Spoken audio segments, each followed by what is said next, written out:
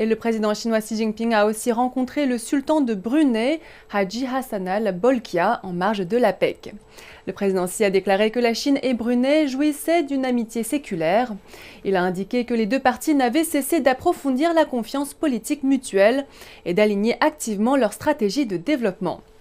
Il a ajouté qu'elles avaient obtenu des résultats fructueux en matière de coopération pratique dans divers domaines et que les deux parties avaient maintenu une bonne coordination dans les affaires internationales et régionales, apportant des contributions positives à la paix, à la stabilité, au développement et à la prospérité de la région.